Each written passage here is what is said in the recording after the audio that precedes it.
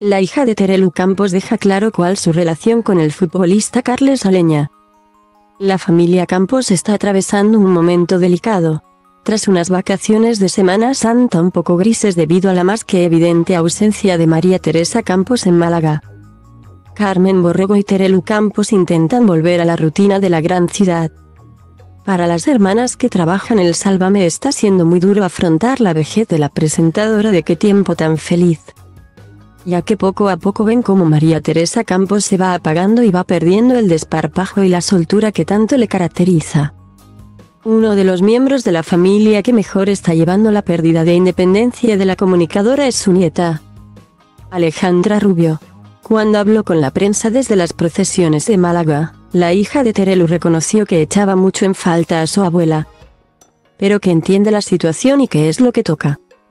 Después de la polémica por las vacaciones de su familia, Alejandra Rubio se ha convertido en la protagonista más absoluta de la semana después de que la revista pronto sacase unas fotos en las que se ve a la colaboradora de fiesta paseando por las calles de Madrid en actitud muy cariñosa con el futbolista Carles Aleña. Además, pronto también mostró cómo la joven presentaba a su madre al jugador, algo que avivó la polémica. Ante tales imágenes románticas donde se puede ver a la joven dándose besos y abrazos con el deportista por las calles de la capital madrileña, Rubio ha decidido dar un paso al frente y aclarar qué es lo que tiene con el futbolista en el programa de Telecinco donde colabora. Este chico no es mi pareja, somos amigos, contestó de manera contundente a las directas preguntas de sus compañeros de espacio. Estoy en una época en la que no estoy con nadie, hago mi vida, mis estudios, Voy a mi bola.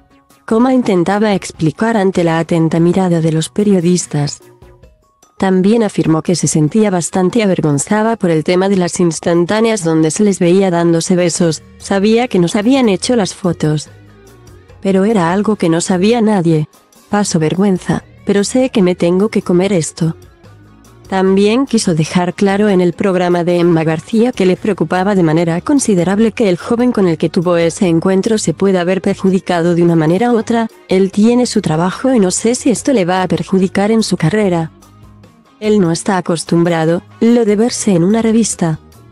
En el momento de la conversación en el que ha salido el término VAX, un acrónimo inglés que se refiere a las novias o esposas de futbolistas o deportistas famosos, Rubio se ha sentido molesta, ya que le parece algo despectivo.